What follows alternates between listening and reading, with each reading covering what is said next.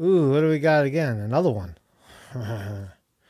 we got another one. Another one. Another one. Uh oh, we got a shooter. A shooter in Pittsburgh. I got my What It Is Lift the Veil shirt on. Thank you, Nathan. Thank you, Nathan. And Lift the Veil. Send me a t shirt. That's my brother. That's my brother. That's my brother from a different mother in LA. Close to LA. So, uh, ooh, this is ugly. This is a um, this is a crazy story right here. So we got a shooter in, in Pittsburgh, right? I'm reading from the uh, from the Post. My new my new go to go to media go to New York Post. So what do we know? This is just information. I'm not gonna I'm not gonna speculate on what I think it is. Maybe just a little. There's one line in there that really struck me. When I get to it, I'll, I'll talk about it. so the man authorities believed killed 11 people inside a Pittsburgh synagogue had a history of posting racist, anti anti-immigrant and anti-Semitic rants and broadcast his violent intentions Saturday shortly before entering the house of worship with guns blazing. Uh, this is this is crazy. This is a, this, is, this is a, this is some crazy crazy times we're living in. I want to draw the parallels between the uh, the the guy with the guy living in his van, the Trump supporter, and this guy. This is there's there's something very interesting, a connection here. In a post on tweet like social media platform Gab, Robert Bowers, that's his name. Robert Bowers, he's 46, ranted about Hebrew immigrant and AIDS the the Hebrew Immigrant Aid Society, a nonprofit that helps resettle immigrants and refugees. HIAS likes to bring invaders, quote, invaders in that kill our people, Bowers, 46, wrote, about an hour before officials say he took aim at, con- at congregants inside the Tree of Life synagogue. I can't sit by and watch my people get slaughtered. Ay, ay, ay. Bauer did, Bowers didn't mention the synagogue, but but chillingly added, "Screw your optics, I'm going in." Excuse me. Officials said Bowers used an uh, an assault rifle and had three handguns on him when he surrendered to police after the bloodbath in the synagogue. He was wounded by police but the nature of his injuries were not immediately revealed. A licensed gun owner who legally purchased at least six guns since hmm. 1996, Bowers had no criminal record and was unknown to law enforcement. Well, there goes your there goes your background check idea. That's how you're gonna get. That's how you're gonna solve the problem. You solve the problem. Yeah, we solve the problem. Just background. Yeah, background checks. Increase the background checks. That'll work. Guy slid. guy's just a just a regular guy. snapped, right? Before the mask, according to Special Agent Bob Jones of the FBI's Pittsburgh office, the suspect's full motive is unknown. How is it unknown? You just they just told you he just posted his motive. He doesn't like the Jew. But he believed he was acting alone, Jones added. Beyond his virulent anti Semitism and apparent love for guns, little was immediately known about Bowers, who lived in an unremarkable apartment in the Baldwin section of Pittsburgh, South Hills, a middle class area of the city. Neighbors at one of his unknown one of his last known addresses told Pittsburgh Post Gazette he frequented the home and may have cared for a disabled person there. Online sleuths identify him as a rabid user of Gab, uh oh, watch out, Gab. Uh, you know, that's what this is all about. This is about framing people as anti-Semites. Uh, uh, you know, now, you know, with the with the guy, the guy in his van with the anti with the with the Trump pro Trump stickers. Now that'll that's a reason to, to shut down your page, demonetize you. I'm going to talk more about the demonetizing because all these videos that I'm doing are now on the arm because YouTube demonetizes them if they don't like the brand. If they don't like what you're saying, they demonetize you. It's fucked up. Called an alt-right alternative to the similar site. So Gab is under fire now. Watch, watch out. Bowers, since deleted profile page under the name uh, One Dingo, branded Jews the children of Satan Satan. He created his Gab profile in January, but had already posted 627 messages on the site. Disturbing comments such as Daily reminder diversity means chasing down the last white person. A lot of a lot of white people are starting to feel like that. You might want to you might want to give it some thought. I mean, just just a thought. Just a thought that white people feel discriminated in, against in this country. I just just something to think about. Just something to think about. He frequently reposted anti Jewish memes, including several that questioned the Holocaust. it's all free speech so far. There's no there's nothing there's nothing crazy here. The material archived by social media users included several negative posts about Muslims and immigrant caravans from Central America as well, including I have noticed a change in people saying illegals and how they say invaders six days ago. He said, I like that. This is this is where it gets very interesting because the, the right the left the the lunatic the lunatic left is going to try to pin it on another another Trump outburst, right? That's what that's what they're going to try to do, right? Because that's we're in silly season now. We're approaching the political season where everything is spun into political motives. But here's here's where it gets very very interesting. He was equally critical of President Trump, who he said was a globalist, not a nationalist. That's right, he is. And was controlled by Jews. Well, that's stupid. Well, that's that's his opinion. It's not stupid. There is no make America great again as long as there is a kike infest, infestation. he wrote. Guy's got guy's got got a worse mouth than I do. Another anti-Trump post depicted a man in a, a yarmulke, a yarmulke yelling Trump that your character will appear to the public as a white racist. It's how we control whites, with Trump replying, Yes, sir.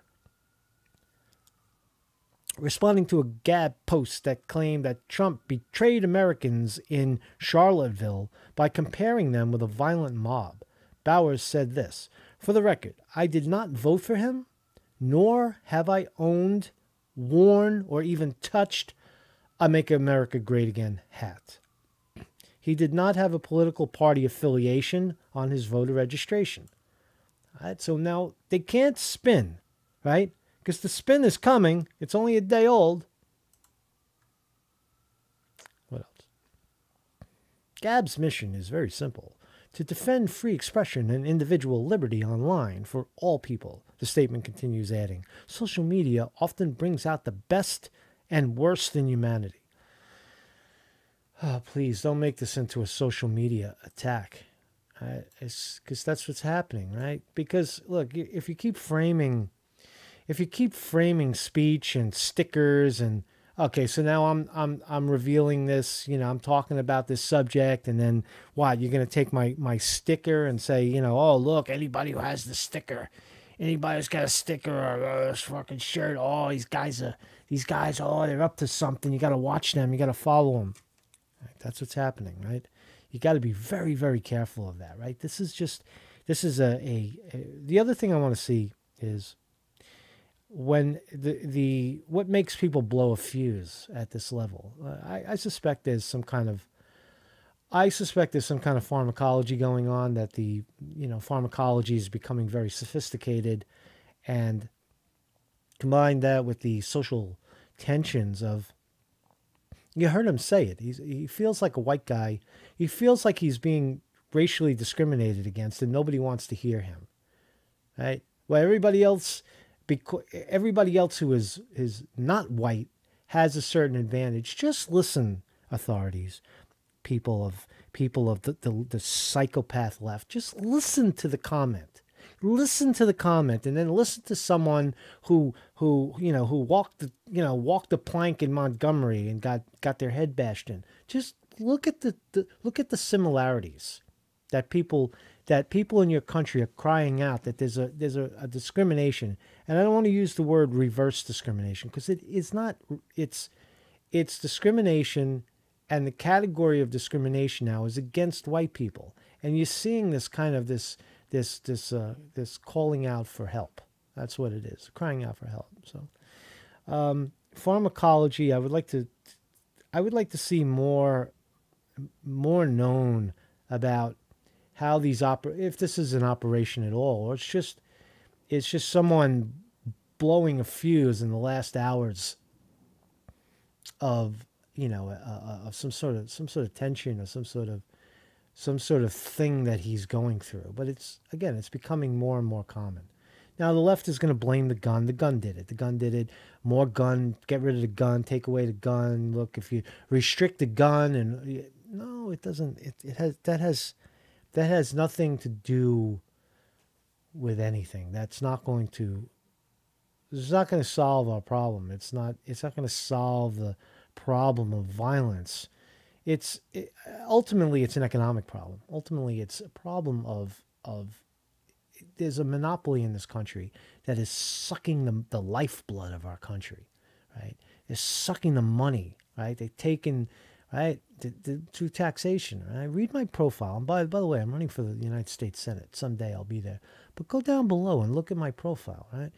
Look at my, my platform for Senate. Raise the corporate tax rate to 80%. Not your tax, not my tax. Anybody making over a few million dollars or as a corporation making a few million dollars. You raise their cor- you raise their tax, and when they don't pay that tax, you you you throw them in jail. Right? Ah, oh, Conte is socialist. Oh, oh, oh, he's a socialist. No, he's not a fucking socialist. He's a right. You wanna you wanna look. You want to improve the lives of people, right? Because right now, what you have is is the is the the crabs in the pot, right? And the water's starting to boil and they're climbing out and they're fucking, they're, you know, they're, they're dying, you know, and, and this is what you get.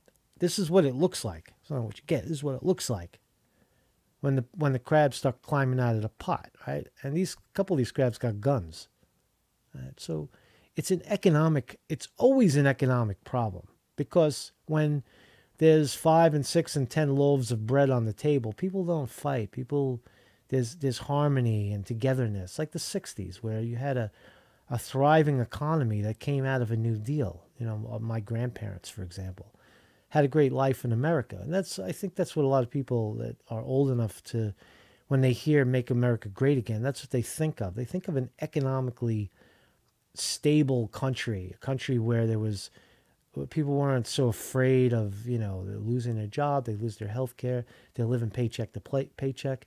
I mean, you got one in one in seven people on food stamps right now. Eighty percent of the country is living paycheck to paycheck if they have a job. Sixty-five percent of the country doesn't have four hundred dollars to their name. I mean, that's just that's just disgusting. It's a disgusting fact, and those facts have everything to do with psychos like this snapping, right? You know, I mean, I live in New York and I see you know, on any given day, you see people just snap. And you never know how it's going to go. You know what I mean? Like, you know, and I and I did some law enforcement. I know I know what it looks like when people there's only so far you can push people eh, to the breaking point. And I I, I just fundamentally believe that with a media that a corporately owned media that provides nothing but propaganda and insults people's intelligence that they that they don't know which way is up which way is down, left, right. Nobody knows anything anymore. Nobody knows who to trust, what to believe, where to get their information. Everybody thinks the other one's a spy and a psyop and a and a and a fake news and a real news and and um you know or even the you know oh I got to go to a doctor and they, they give you a pill and that, that those doctors are controlled by big pharma. See, it's always an economic problem. It it always in my humble that's ridiculous i'm not humble my educated opinion i i i hold i hold to the to the notion that all of the problems that we see right now are economic in nature and if you if you want to solve you know psycho guy living in his van right who eventually who decides that he's going to take matters into his own hands and he's going to send fake bombs and scare the shit out of all these Democrats, right? And nobody would be thinking about anything like that in a sane, civilized, thriving economy. These these fake numbers of economics where there's thriving, you know, the, that the thriving economy and the, the the markets are up. That money doesn't hit the real economy, and it's and it and people are insulted and they're they're almost they almost feel like they're being um, it's like mocking someone by showing them how well you're living like commercials for example tv commercials that look how well i'm doing. Look how wonderful we are. Look how beautiful my children are.